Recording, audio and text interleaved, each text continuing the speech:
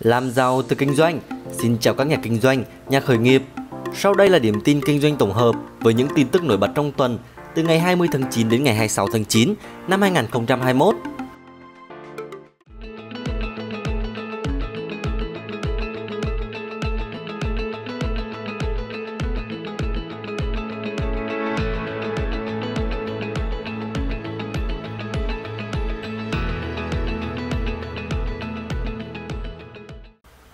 Đầu tiên, chúng ta sẽ đến với các tin quốc tế.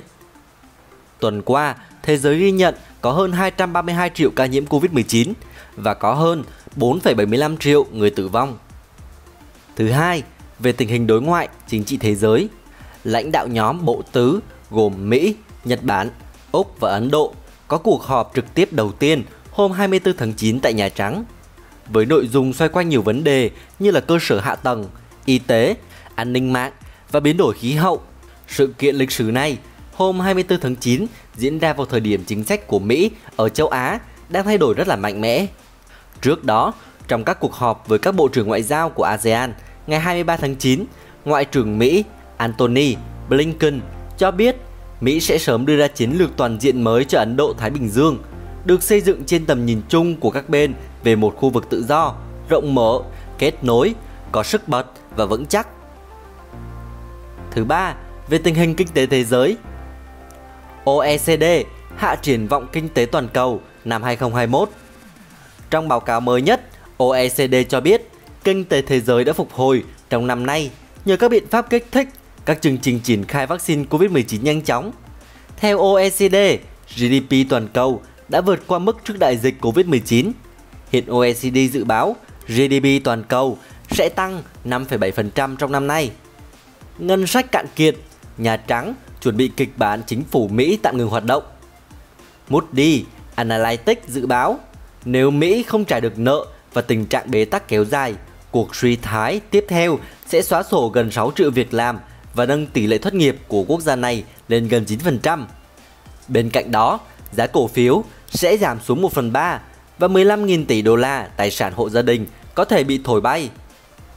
Bộ Tài chính ước tính cơ quan này có thể hết tiền để thanh toán các hóa đơn của chính phủ vào một thời điểm nào đó trong tháng 10, gây ra nguy cơ vỡ nợ trừ khi Quốc hội nâng trần nợ. Doanh nghiệp nhỏ và vừa lao đao trong đại dịch. Thái Lan tung gói hỗ trợ. Bộ trưởng Tài chính Thái Lan ngày 25 tháng 9 cho biết, Ủy ban nhà nước chịu trách nhiệm xem xét việc sử dụng vốn vay của đất nước để khôi phục nền kinh tế bị ảnh hưởng bởi dịch Covid-19 đã thông qua ngân sách 100 tỷ baht và có kế hoạch sớm yêu cầu nội các phê duyệt. Tiếp theo, chúng ta sẽ đi đến với các tin trong nước. Thứ nhất, về tình hình dịch bệnh trong nước. Bộ Y tế cho biết, đến nay, nước ta đã điều trị khỏi 511.270 bệnh nhân COVID-19. Đã có gần 37,6 triệu liều vaccine COVID-19 được tiêm, trong đó có hơn 7,5 triệu người tiêm đủ 2 liều vaccine. Chuyển trạng thái từ không có COVID sang thích ứng an toàn và linh hoạt với dịch bệnh. Thủ tướng Phạm Minh Chính cho rằng không phải cứ lập rào cản là chống được dịch, đồng thời yêu cầu tất cả các địa phương thành lập tổ công tác phục hồi sản xuất. Thứ hai, về tình hình chính trị, đối ngoại trong nước. Tổng Bí thư Nguyễn Phú Trọng điện đàm với Tổng Bí thư Chủ tịch nước Trung Quốc. Tổng Bí thư Nguyễn Phú Trọng cũng đề nghị hai nước tiếp tục phối hợp chặt chẽ về quản lý, bảo vệ biên giới, thực hiện nghiêm túc các văn kiện pháp lý về biên giới trên đất liền giữa hai nước xây dựng đường biên giới hòa bình, ổn định, hợp tác và phát triển, tiếp tục nâng cao hiệu quả hợp tác trên biển, thúc đẩy bàn bạc, thương lượng về tiến hành phân định và triển khai hợp tác, xử lý thỏa đáng các vấn đề trên biển, phối hợp hiệu quả và cùng ASEAN tích cực nỗ lực đàm phán xây dựng bộ quy tắc ứng xử ở Biển Đông. Chủ tịch nước Nguyễn Xuân Phúc gặp Tổng thống Đức để khắc phục những khó khăn do Covid-19 gây ra hai bên nhất trí tiếp tục trao đổi, tiếp xúc cấp cao và các cấp, tiếp tục đẩy mạnh quan hệ hợp tác kinh tế, thương mại, đầu tư và khai phá những lĩnh vực còn nhiều tiềm năng hợp tác to lớn. Trong đó có lĩnh vực năng lượng tái tạo, công nghiệp phụ trợ, chế tạo máy, logistics. Hai nhà lãnh đạo cũng nhất trí tiếp tục phối hợp chặt chẽ trên các diễn đàn đa phương, qua đó góp phần duy trì hòa bình, chống lại cường quyền. Thứ ba, về tình hình kinh tế trong nước, hàng loạt hợp đồng tỷ đô được ký kết trong chuyến công tác của Chủ tịch nước Nguyễn Xuân Phúc.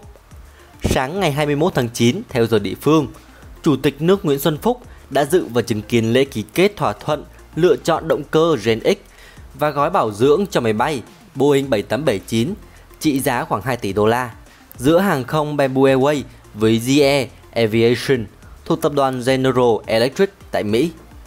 Cũng tại sự kiện này, Bamboo Airways đã ký thỏa thuận chọn động cơ LEAP 1A và dịch vụ bảo dưỡng cho toàn bộ 50 máy bay A320 Neo đặt hàng từ Airbus với CFM International. Cũng trong ngày này, hãng hàng không Vietjet, Vietjet Air và công ty CFM International liên doanh GE and Safran ký kết hợp đồng cung cấp dịch vụ bảo dưỡng động cơ tàu bay trị giá 260 triệu đô la. Sang ngày 23 tháng 9, Chủ tịch nước chứng kiến lễ ký kết biên bản ghi nhớ giữa tập đoàn Vingroup và Google Cloud tại Mỹ về việc triển khai chiến lược chuyển đổi số trong lĩnh vực kinh doanh của tập đoàn. 9 tháng, đầu tư ra nước ngoài tăng hơn 30%. Bộ Kế hoạch và Đầu tư cho biết, 9 tháng đầu năm nay, tổng số vốn đầu tư ra nước ngoài cấp mới và tăng thêm đạt 572,3 triệu đô la, tăng 32,4% so với cùng kỳ năm 2020. EFC tạo điều kiện cho kinh tế tư nhân là bắt buộc khi phục hồi. Với làn sóng Covid-19 hiện nay, Việt Nam càng nhất thiết phải thúc đẩy một khu vực tư nhân năng động, đa dạng và đổi mới sáng tạo cho giai đoạn phục hồi khi các nguồn lực công trở nên khan hiếm.